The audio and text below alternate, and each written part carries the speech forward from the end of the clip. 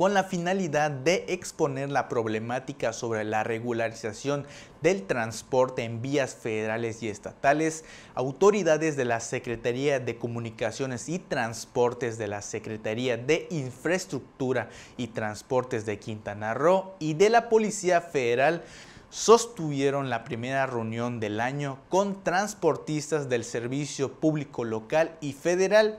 En esta reunión participaron el director de Comunicaciones y Transportes de la Cintra, Alejandro Ramos Hernández, el comandante Carlos Chávez Hermina, encargado del autotransporte de carga de la Policía Federal, el comisario Juan Manuel Atalaguarro, coordinador estatal de la Policía Federal en Quintana Roo, y el delegado de la Cintra en Benito Juárez, Juan Jesús Lezama González.